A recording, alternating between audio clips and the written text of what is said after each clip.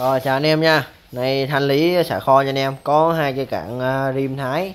Hình thức thì cũng uh, tạm tạm anh em Không có đẹp nha. Uh, cây uh, yên uh, quay 110 Đó. Thì uh, nói chung hình thức thì uh, hàng này là hàng trung bình thôi. Thì bán cho anh em nè bốn cây này Với lại hai cây này. Bán cho anh em 500 thôi. Này là rim thái cho anh em nha. Rim thái nha Nhìn là biết rim thái ha. Đó, thì nói chung mình thức thì anh em thấy nó có chày nè cây này là có chày này cây này chày nhiều à. cây này chày ít này, cây này chày ít nè. Cây này không có gần. Cây này chày ít nè. Đó. Chày ít nha. Rồi cạn yên ờ, quay dưới thì ờ, trung bình. Không có cây nào bị gãy hết nha. Nói chung là zin hết. Thì bán cho anh em ờ, 6 cây.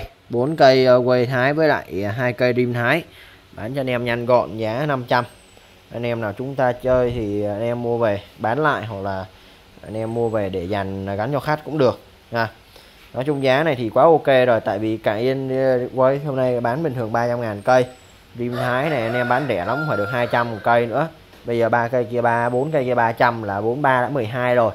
Hai cây này bán 300 nữa là, hai cây này 300 nữa là triệu 6 nữa là 600 nữa là triệu 8 rồi.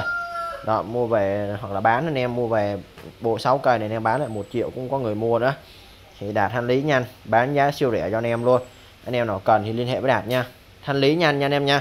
Đó thì cái này là cảng zin hết bao cho anh em đúng đồ zin luôn. Anh em nào phát hiện đồ lô thì cứ báo mình mình uh, trả lại tiền cho anh em. Đấy thì có ờ, 6 cây anh em nào lấy liên hệ với đạt nha. Cảm ơn quý anh em rất là nhiều.